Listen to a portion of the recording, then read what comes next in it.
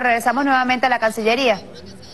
Realizó este fin de semana de los 120 países que asistieron a esta reunión. Ahora sí, buenos días. Muchas gracias a los medios de comunicación que están presentes.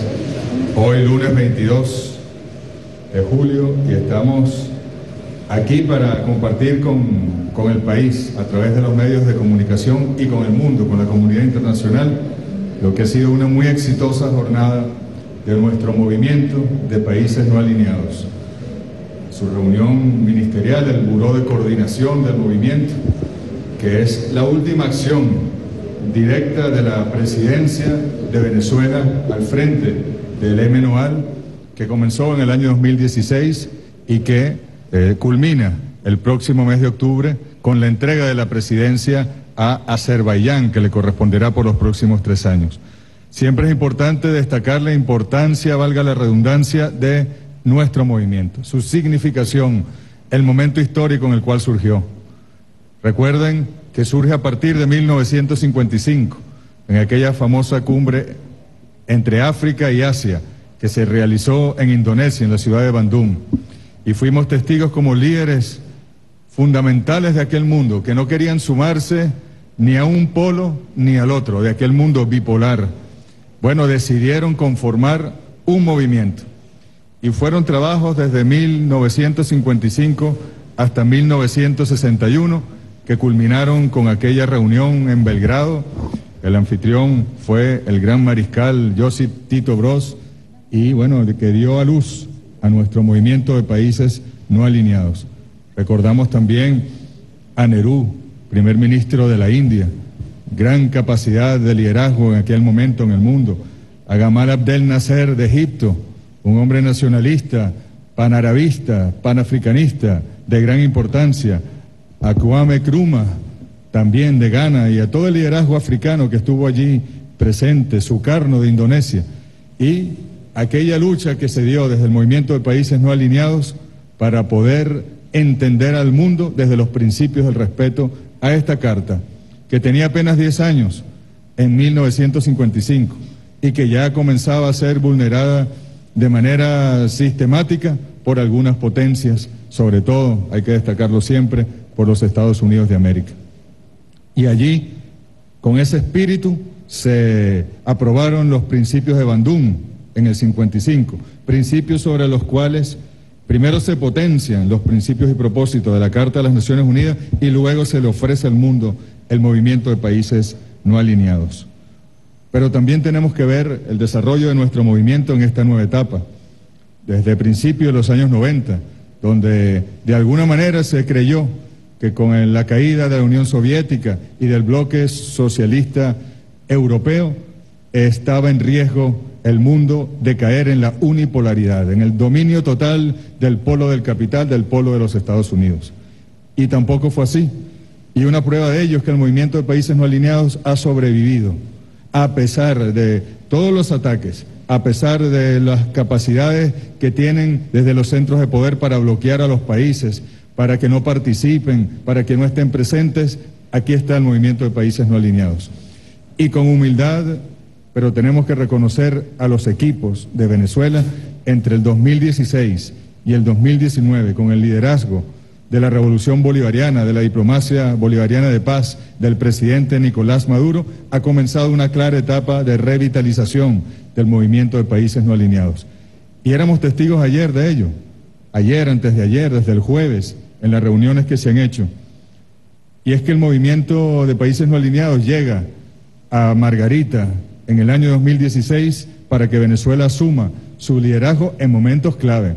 ¿Qué estaba pasando en 2016? En Estados Unidos, justamente en esos meses, finales de año, ganaba las elecciones Donald Trump. Y ya la política unilateralista, bueno, se veía reforzada. El racismo geopolítico se vio eh, fortalecido. El intento por eliminar a movimientos que creen en la Carta de las Naciones Unidas, como el movimiento de países no alineados, bueno, fue expandido. Las prácticas de extorsión en la diplomacia, las prácticas del chantaje en la diplomacia, esta cumbre de estos cuatro días en Caracas fue producto también, o fue más bien víctima y sujeto de presiones por parte de la, diplomacia estadounidense. Quizá algunos delegados en alguna oportunidad podrán relatar las llamadas que recibieron, la presión que recibieron en sus capitales y también en Nueva York, donde funciona el buró del movimiento tradicionalmente, para que no vinieran a Venezuela, para que no hicieran presencia en esta reunión ministerial, para que no estuvieran aquí, pero fracasó. La diplomacia de la guerra, la diplomacia unilateralista, fracasó totalmente. Y estuvieron presentes en Venezuela las 120 delegaciones, estuvieron las organizaciones también eh, invitadas, los países observadores y algunos países especialmente invitados a Venezuela, como el caso de la República Popular China y también un viceministro de la Federación de Rusia, el viceministro Ryabkov. Por eso tenemos que celebrar mucho, porque en esta turbulencia en el sistema internacional pudimos nosotros cumplir a cabalidad. Y allí escucharon ustedes las palabras del presidente Nicolás Maduro. Fíjense cuál era el tema, la promoción y consolidación de la paz a través del respeto al derecho internacional. No pide otra cosa el movimiento de países no alineados, sus 120 miembros, que se respeten los principios, los propósitos de esta carta, las convenciones internacionales, diplomáticas en materia de derecho internacional, que se respete lo que la humanidad se ha dado en materia jurídica para poder convivir y coexistir sanamente los pueblos, los estados, los unos con los otros. De manera que podemos decir que fue un éxito. Las delegaciones reconocían el liderazgo del presidente Maduro, el liderazgo de Venezuela, los países árabes, los países africanos, los países asiáticos, los países latinoamericanos, los países incluso europeos que participan del MNOAL, las, las, organizaciones invitadas del sistema también de Naciones Unidas estaban muy satisfechos con el trabajo que se hizo. Hay un acervo común que ha sido no solo mantenido por el movimiento, sino que se está potenciando ahora. Y lo hemos dicho, el MNOAL tiene que convertirse hoy en, en esos caballos briosos que van a dirigir la carreta de la humanidad. Nosotros creemos en el sistema de Naciones Unidas, creemos en el multilateralismo, pero al mismo tiempo sabemos que hay fuerzas que quieren desviar, que quieren llevar a las Naciones Unidas a ponerse al servicio de la política de la guerra, de la diplomacia, de la tristeza, del dominio, de la dominación, como también sabemos que el movimiento de países no alineados en esta reunión de ayer ha reafirmado y reafirmará en Azerbaiyán, en Bakú, en unos dos meses, tres meses, su carácter independiente, su carácter de promotor de la paz, de la solución pacífica de las controversias, del respeto a la soberanía de los estados. Y tendremos un movimiento que va a guiar, va a presionar, así como presionan por la guerra, así como presionan por la dominación, así como presionan para que cedan y torcer la voluntad de los pueblos y los estados, también hay un movimiento de países que está además integrado por 120 estados, dos tercios de los miembros de las Naciones Unidas y que va a llevar la carreta de la historia, la va a impulsar por la dirección correcta de la paz, del respeto, de la estabilidad. Dentro de lo que se presentó en estos cuatro días, Venezuela rindió su informe y son muchos los elementos que podemos destacar, pero uno pudiese destacar, a pesar, porque fíjense ustedes, queridos periodistas, queridas periodistas, entre 2017 y 2019, ¿qué no hemos vivido en la República Bolivariana de Venezuela? ¿Qué no ha pasado? ¿Cuánta agresión no ha habido? Intentos de golpe de Estado, violencia política en la calle. Tuvimos que, con la sapiencia de nuestro liderazgo político, generar opciones como la Asamblea Nacional Constituyente, el llamado al voto y a la democracia para calmar las aguas de la eh, oposición política violenta en las calles, cómo hemos tenido que enfrentar un golpe de Estado desde los Estados Unidos, directamente, porque no es el señor diputado tal o la señora diputada tal, es el señor Bolton, es el señor Pence, es el señor Pompeo, es el señor Trump, Abrams, Marco Rubio, que lo han dicho. No lo estamos nosotros concluyendo, no, lo estamos diciendo porque ellos mismos lo han confesado y lo confiesan todos los días. Pero en esa dificultad de nuestra economía, en esa agresión, en ese bloqueo, en esa agresión política, hemos podido no solo mantener vivo, insisto, el movimiento de países no alineados, sino revitalizarlo, comenzar una etapa fuerte de revitalización del movimiento. Estamos en ese proceso y es fundamental. Hemos incluso activado nuestro movimiento en la UNESCO, en París, con la cultura, la educación, que no estaba allí presente, el movimiento de países no alineados. Se ha fortalecido el movimiento de países no alineados en Viena, que donde también hay organizaciones de las Naciones Unidas, en Roma, en La Haya. Hemos ido mucho más allá. Y de verdad que yo quiero felicitar a los equipos de nuestra Cancillería por eh, los logros, por haber llevado a buen puerto nuestra presidencia del movimiento de países no alineados por haberlo fortalecido. Hay otro logro fundamental de la presidencia de Venezuela. El 24 de abril ha sido aceptado por Naciones Unidas como el Día del Multilateralismo y la Diplomacia de Paz. Fíjense ustedes qué hermoso. El multilateralismo, Día Internacional del Multilateralismo y la Diplomacia de Paz. Este año celebramos con una sesión de la plenaria de la Asamblea General de Naciones Unidas, la primera, el homenaje inicial a ese día que va a ser desde ahora y en adelante el Día del Multilateralismo y la Diplomacia de Paz. Pero recordemos también la declaración de Nueva York del año 2017, primera declaración clara del movimiento de países no alineados contra las medidas coercitivas unilaterales, las mal llamadas sanciones.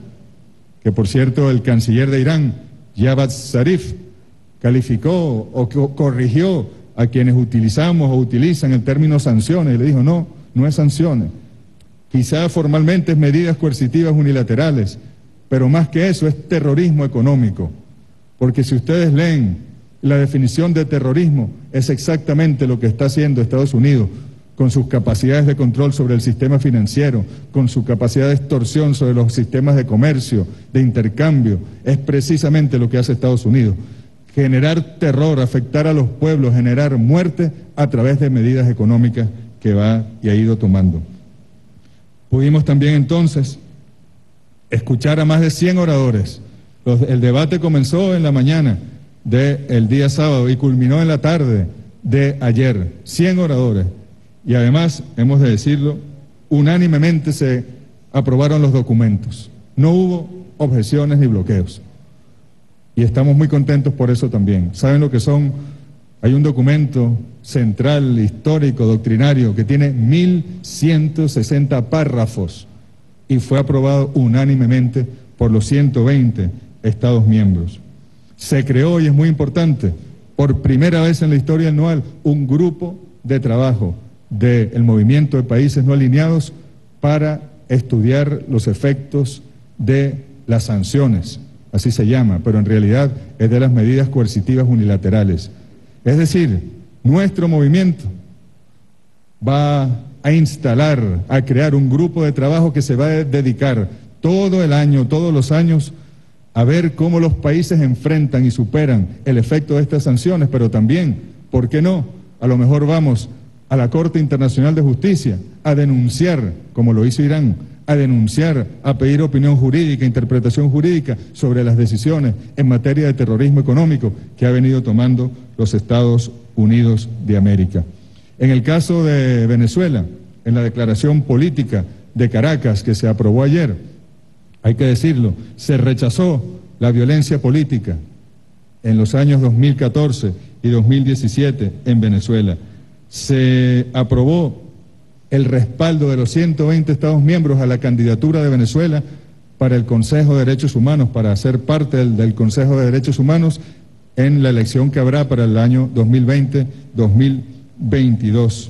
Se agradeció el liderazgo del presidente Nicolás Maduro y de la Revolución Bolivariana en estos tres años al frente de la presidencia del movimiento de países no alineados. Se respaldó la delegación del gobierno de la República Bolivariana de Venezuela porque saben ustedes que Estados Unidos, lo dijo el señor Pence en el Consejo de Seguridad, ellos pretenden desconocer al gobierno venezolano en Naciones Unidas y para ello tienen que contar con la mayoría de los votos de la Asamblea General. Bueno, aquí 120 países le dijeron a la, a la, diplomacia estadounidense, nosotros reconocemos el gobierno legítimamente electo, el gobierno constitucional de la República Bolivariana de Venezuela y lo vamos a expresar a través de acciones concretas si acaso se atreviere Estados Unidos a desafiar las credenciales oficiales de la delegación venezolana en Naciones Unidas.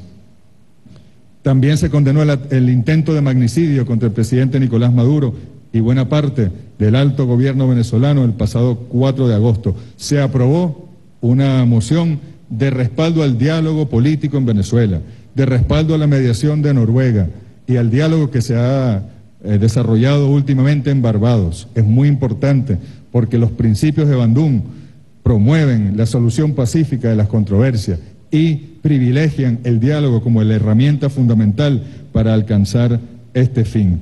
Y por supuesto, se condenó los efectos de las sanciones, de las medidas coercitivas unilaterales y se condenó también y se pidió también la derogación, el levantamiento de esas medidas contra Venezuela. Para ir culminando también hubo una reunión del grupo de amigos de defensa de la Carta de las Naciones Unidas y el Derecho Internacional, el grupo que se creó a principios de este año en Nueva York, que se trasladó pues, buena parte de sus miembros son miembros del movimiento de países no alineados y se reunieron, nos reunimos ayer en la mañana para respetar pues, para hacer todo lo posible para respetar la Sagrada Carta de las Naciones Unidas que ustedes bien conocen. Allí pudimos ser testigos cómo se reafirmó en una declaración que se están adhiriendo todavía países, se siguen adhiriendo estados en Nueva York, se reafirmó la Carta de las Naciones Unidas, los principios de la autodeterminación, a la igualdad soberana de los estados, a la abstención al uso o amenaza del uso de la fuerza contra la integridad territorial o la independencia política de cualquier estado. Se reiteró que solo le corresponde al pueblo venezolano decidir de manera soberana su propio destino y elegir libremente su sistema político, social y cultural sin injerencia de ningún, de ningún tipo por parte de otro Estado en el marco de su Constitución Nacional. La oposición a la ilegal promulgación e implementación de medidas coercitivas unilaterales en contra de Venezuela y la demanda de su inmediato levantamiento. El rechazo ante las amenazas públicas de una intervención militar en Venezuela y otras potencias con operaciones encubiertas el respaldo a la solución pacífica y el diálogo político entre los venezolanos sin precondiciones, incluyendo iniciativas como el mecanismo de Montevideo, el Grupo Internacional de Contacto y los diálogos que se han establecido en Oslo. Fíjense ustedes, son decenas de países, 50 al menos, que ya se han adherido a esta declaración particular que se hizo paralelo, en el marco de, pero paralelo, como también se reunió el Comité Ministerial del Movimiento de Países No Alineados sobre Palestina. Ahí estuvo el canciller Riyad Malki rindiendo informe sobre las atrocidades que están ocurriendo en Palestina, el Estado ocupante, cómo reprime, cómo niega la posibilidad del desarrollo de ese pueblo, cómo están eh, eh, pidiéndole desocupación a familias que han estado toda su vida viviendo en territorios para luego levantar asentamientos para los colonos cómo los Estados Unidos le ha cortado toda la ayuda que le daba para extorsionarlos y para que acepten un plan que prácticamente negaría la independencia de Palestina y su futuro. Allí establecimos que hay que actuar, ya no más reuniones del comité, sino que actúe ese comité si hay que crear un fondo para proteger a Palestina porque le cortan los recursos desde Estados Unidos, somos 120 Estados miembros que bien podemos sustituir esos ingresos y Naciones Unidas tiene que dar también resultados en ese sentido. Si hay que viajar a Palestina todos juntos para defender la existencia del Estado palestino, lo haremos. El canciller Malki se eh, comprometió a darnos una propuesta, un borrador de trabajo, de acciones que soberanamente el Estado palestino llevará adelante para poder entonces nosotros trabajar en esa dirección. Aquí está la declaración política de Caracas, se ha publicado en la página de la Cancillería, yo los llamo a que la lean con detenimiento porque tiene elementos muy, muy importantes. Yo no quisiera seguir extendiendo, pero se rechaza el unilateralismo, se confirma, se ratifica la búsqueda de la solución pacífica de todas las controversias en el mundo, se rechazan las medidas coercitivas unilaterales, se hace una, una exhortación para buscar opciones e ir a los mecanismos jurídicos internacionales para proteger a los estados que son producto de agresiones por parte de los grandes centros de poder. Y bueno, y ahí está reafirmados con plena vigencia los principios de Bandung. Es un orgullo para Venezuela y lo decimos desde el corazón. El presidente Nicolás Maduro dijo en su intervención que desde Venezuela creemos en la humanidad. Y para creer en la humanidad, la única manera que la humanidad tome decisiones tiene que ser de manera colectiva. Para eso se crea el multilateralismo. Y el movimiento de países no alineados es el corazón del multilateralismo. Y vamos a dirigir, vamos a conducir a todo el sistema multilateral por la vía de la paz, del entendimiento, del respeto a la soberanía, de la diversidad, del respeto a la diversidad cultural, a la diversidad religiosa, y no a la imposición de modelos, ni a la imposición de sistemas de acumulación de capital. Lo que hay que acumular es respeto, lo que hay que acumular es felicidad, lo que hay que acumular es la satisfacción de las necesidades de los seres humanos, lo que hay que acumular es el respeto, sí, a la diversidad y a los derechos humanos. No quiero extenderme más, estamos muy, muy satisfechos de esta reunión que trataron de sabotearla por todas las vías. Sigue la campaña internacional de Estados Unidos para tratar de aislar a Venezuela. ¿Ustedes vieron a Venezuela aislada? ¿Vieron la foto oficial? ¿Cuántas delegaciones había allí? No van a poder aislar a Venezuela, hagan lo que hagan. Así manden aviones a, a, transgredir, a incursionar en territorio venezolano para amedrentar a los delegados que vinieron a la cumbre, no van a poder aislar a Venezuela y Venezuela seguirá siendo líder de la cooperación sur-sur, líder del movimiento de países no alineados y líder de un futuro de paz para la humanidad. Muchas gracias. Inicia el ciclo de preguntas por Telesur. Luis Tavera. Buenos días, canciller y los funcionarios que lo acompañan. Em, durante esta reunión ministerial, em, usted mencionó que la creación de un grupo de trabajo para paliar las medidas coercitivas contra algunas naciones. Eh, quisiera saber un poco más de qué forma se va a trabajar en este grupo de trabajo. También eh, el canciller de Irán ha anunciado y en su discurso expresaba este respaldo hacia Venezuela.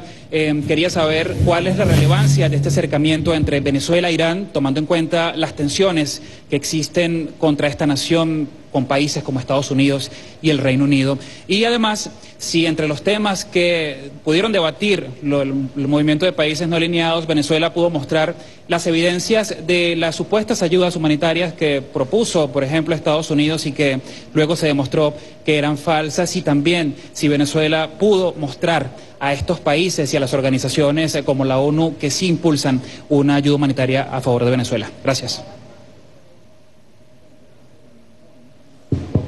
Gracias, hermano. Muy bien. Fíjate, efectivamente se crea el grupo de trabajo sobre las sanciones. Muchos países del movimiento de países no alineados han sufrido sanciones. Algunos incluso ya superaron esa etapa, como Sudán, como Zimbabue, pero tienen mucha experiencia. Pero ahí está Irán, que las ha sufrido desde hace 40 años, 50 años. Ahí está Cuba, que tiene un bloqueo criminal desde hace 60 años. Y está Venezuela y están otros, muchos países de África, de Asia, también han sido sujetos de sanciones o de medidas coercitivas unilaterales. Tenemos mucha experiencia. Irán ha aprendido a sortearlas, Cuba ha aprendido a sortearlas, Venezuela está en un proceso de aprendizaje. Entonces vamos primero a hacer un estudio comparativo de las experiencias, de cómo logramos superarlas, y luego una toma común, no solo para defender a los países, ir a las instancias jurisdiccionales correspondientes, reclamar, denunciar, sino tomar decisiones concretas en nuestro sistema financiero, en nuestras relaciones comerciales, en las relaciones de intercambio, de transacciones, tomar decisiones allí concretas entre nosotros, con otros países que se oponen y que son grandes potencias, aunque no sean parte del movimiento de países no alineados, para que podamos entonces diseñar un sistema alternativo. Y que todo aquel sistema financiero que surgió después de la Segunda Guerra Mundial, en Bretton Woods, y que ha tratado de imponerle al mundo un modelo, entienda que hay otro mundo, no solo en lo social, porque ese otro mundo posible era un lema del Foro Social Mundial, de los partidos políticos de la izquierda. En lo económico nosotros vamos a generar un sistema alternativo para que nuestros pueblos puedan desarrollarse plenamente y para que las agresiones de quienes no quieren que se desarrollen no tengan ningún tipo de impacto. Nuestra relación con Irán es de vieja data, como bien sabes. Ustedes recordarán cuando con Irán comenzamos a fabricar bicicletas en Venezuela, que comenzaron a decir que debajo de la fábrica de bicicletas había un depósito de uranio para eh, generar pues exportarlo y que Irán produjese energía nuclear. Y el comandante Chávez le puso aquellas bicicletas, las bautizó como las bicicletas atómicas. Y fue más bien una estrategia de mercadeo socialista del presidente Chávez muy, muy válida. Pero lo digo como un ejemplo de cómo han tratado de perjudicar, de dañar, cómo han tratado de impedir que la relación entre dos países soberanos, dos pueblos soberanos, dos estados soberanos, que tenemos economías complementarias se desarrollen. Irán ha sido solidario con Venezuela en momentos de dificultad y Venezuela ha sido solidaria con Irán en momentos de dificultad. Tenemos una agenda en materia económica, comercial, energética, eh, de intercambio cultural, de intercambio político, bueno, muy amplia. Y he de decirlo, este año, con las agresiones a Venezuela y las agresiones a Irán, como buenos rebeldes que somos, lo que hemos hecho es profundizar esa agenda con nuevos temas, con nuevas decisiones, con nuevos recursos. Y vamos a diseñar, aprendiendo de la experiencia de Irán en todos los ámbitos, el económico, el político, el comercial, aprendiendo, tomando referencia, no es copiando, eso no se copia. Somos culturas distintas, sistemas políticos distintos, pueblos distintos, pero ellos han luchado contra la agresión, ellos han luchado contra las medidas para restringir su economía. Son un país petrolero, son un país OPEP, tenemos muchas afinidades y vamos a seguir trabajando con ellos para diseñar una agenda cada día más completa de cooperación con Irán. Sobre la ayuda humanitaria, sé que es otro tema que no entra aquí, pero voy a caer en la provocación. Es buena, porque ¿se acuerdan ustedes de la presión a Venezuela que no quiere dejar entrar ayuda humanitaria? Les estoy hablando de hace dos años. Que hay una crisis humanitaria, que si no entra la crisis, la, la comida y los medicamentos, se van a morir un millón de personas en tres días, que Maduro es malo sabiendo el presidente Maduro que la estrategia imperialista era esa. Y se demostró el 23 de febrero en Cúcuta, aquella operación mediática terrible, que incluso tenía por detrás elementos armados, con presidentes de América Latina y miembros del gobierno de Estados Unidos allí. Se demostró la falsedad. Pero nosotros no negamos que hay dificultades en nuestra economía y mucho más con el terrorismo económico de Estados Unidos contra nosotros este año, que ha puesto en dificultades incluso en una persecución financiera y petrolera, hasta naval. Bueno, muy bien, le hemos dicho, desde septiembre del año pasado en reunión entre el presidente Maduro y el eh, secretario general de Naciones Unidas, y en todas las reuniones que he tenido yo este año, que son cinco o seis, ya no recuerdo, con el secretario general, le hemos dicho que venga la ayuda humanitaria a través de Naciones Unidas. Bueno, estamos esperando, parece que no era tan urgente.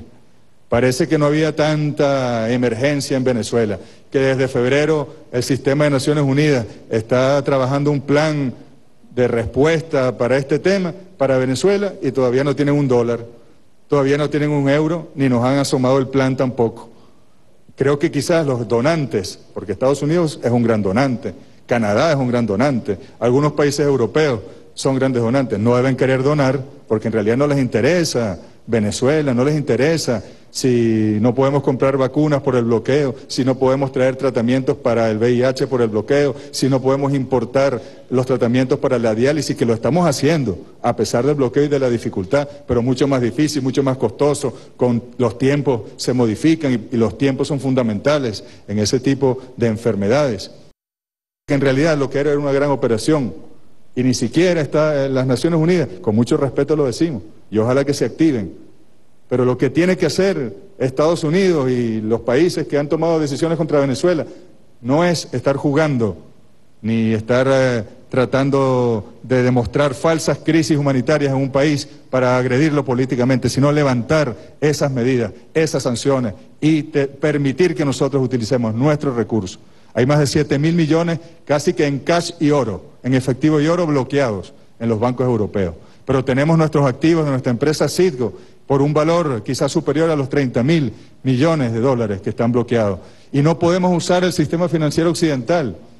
Si nosotros queremos comprar mañana, por ejemplo, como tradicionalmente hemos importado leche en polvo del Uruguay, que es un socio y amigo, no podemos hacerlo. ¿Cómo pagamos?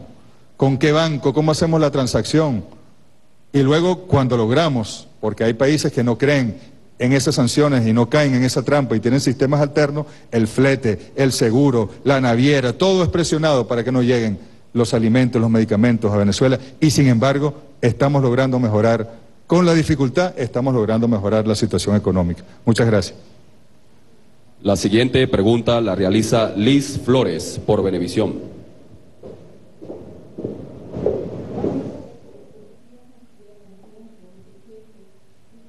No, la posibilidad de crear un sistema económico alternativo para reducir los efectos que tiene para la población venezolana el llamado bloqueo económico que aplica Estados Unidos contra Venezuela.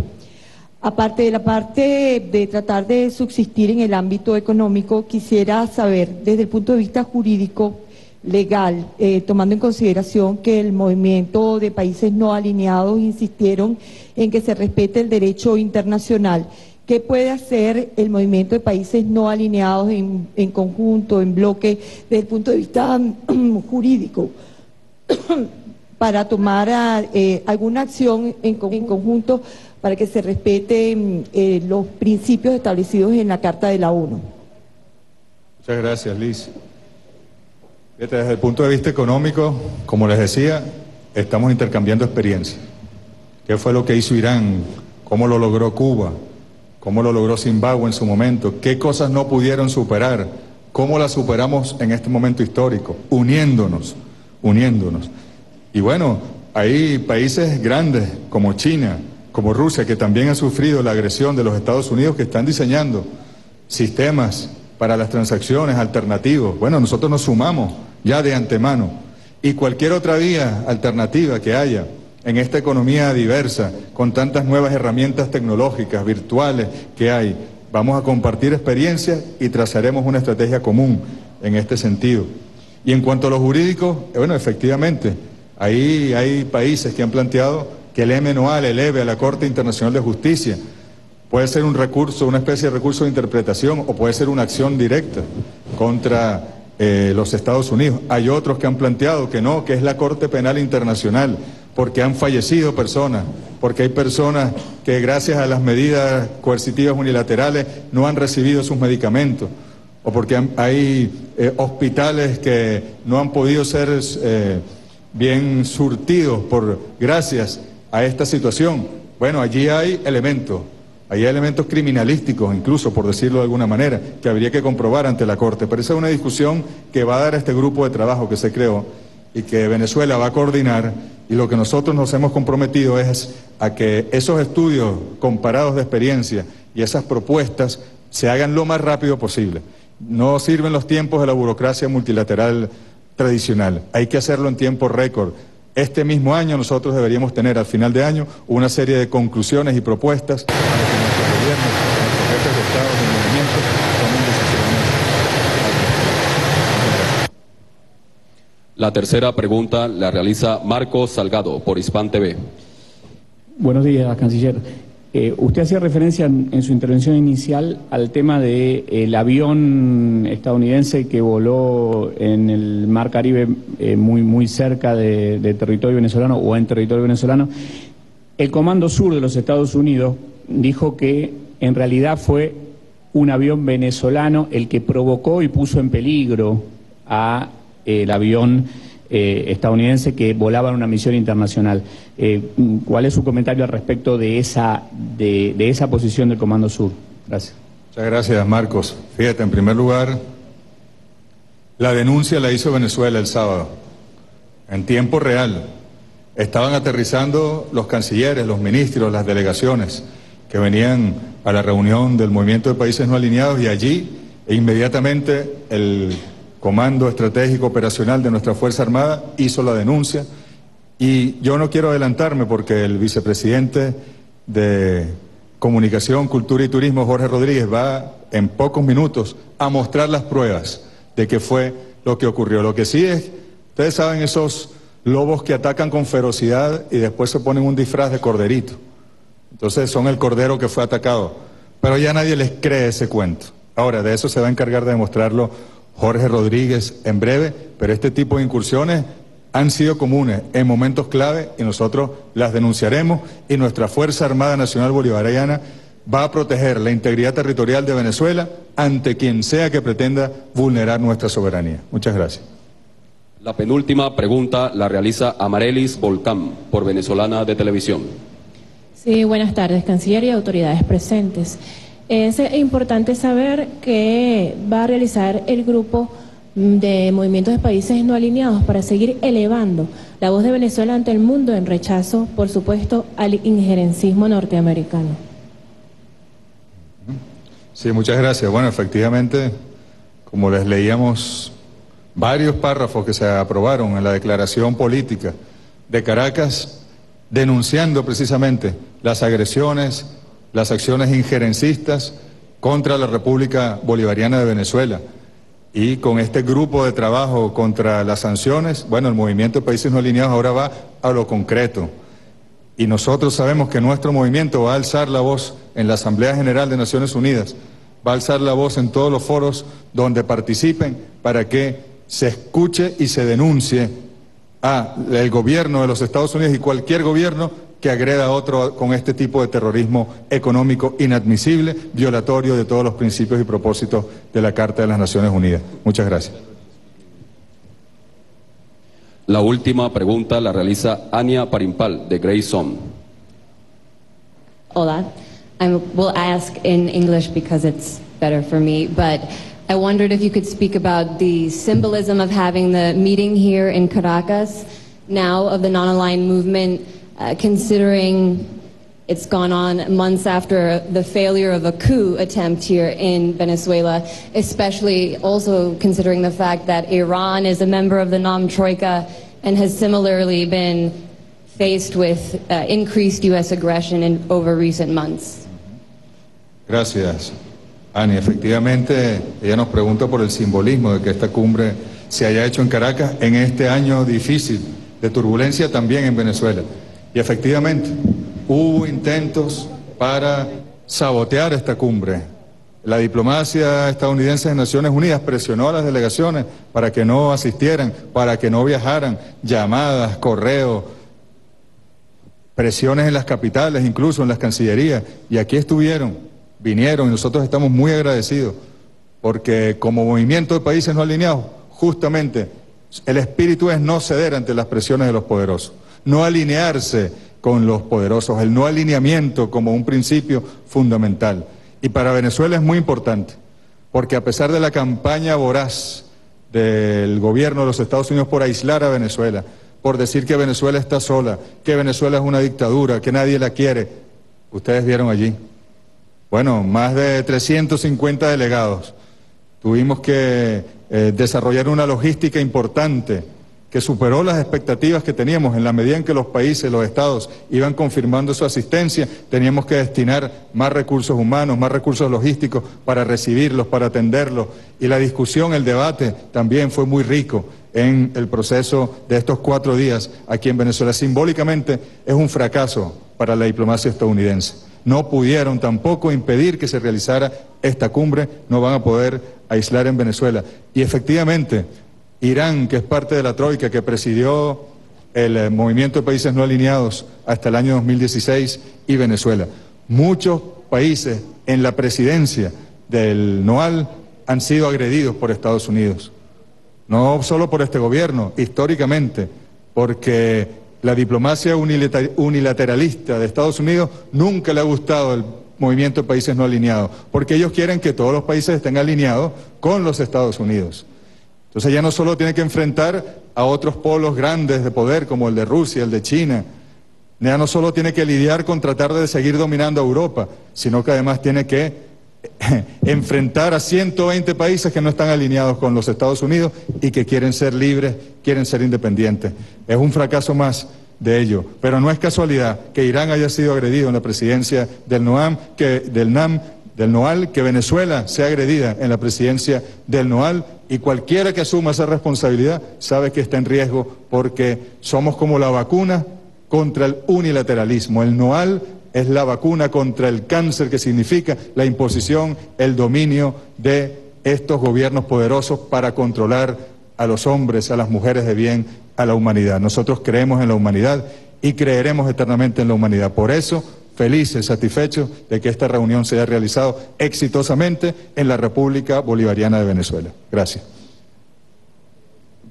Escuchábamos entonces las declaraciones que para este momento ofrecía el canciller de la República, Jorge Arreaza, ofreciendo ese balance de la reunión del movimiento de países no alineados, 120 países que se reunieron en Venezuela en apoyo y respaldo a la revolución bolivariana. Es la información que ofrecemos desde Casa Amarilla y con ello retornamos el pase a los estudios. Adelante.